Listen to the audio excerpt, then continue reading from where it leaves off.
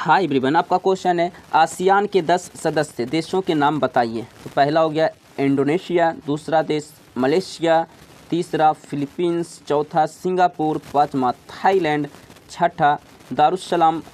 सतमा Vietnam आठवा Laos नवा Myanmar दसवा कम्बोडिया ये सारे आसियान के दस सदस्य देशों के नाम है ठीक है so thank you like share and subscribe so thank you